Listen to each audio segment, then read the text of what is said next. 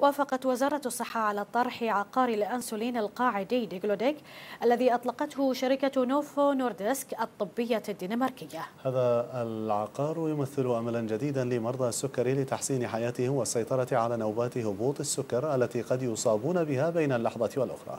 جاء ذلك في مؤتمر صحفي عقد بحضور ممثلين عن وزارة الصحة والرعاية الصحية الأولية والمدير العام للشركة الطبية الدنماركية.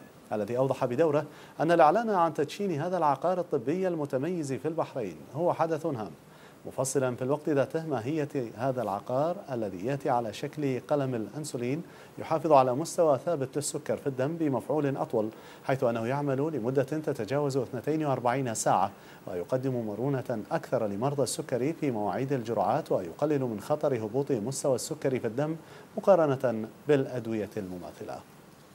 مرض السكري آه، مرض آه، منتشر آه، عالميا ونحن نتكلم بخصوص البحرين. نسبة المرض في ازدياد مضطرد سواء في على مستوى الأطفال أو الكبار. هناك عدد كبير من الأطفال الذين يعانون من السكري النوع الأول وهناك عدد يتضاعف يوميا آه، من البالغين المصابين بالنوع الثاني للسكري. والطامة الكبرى هناك عدد كبير من الأطفال والناشئة يعانون من النوع الثاني والمفروض يصيب به الكبار.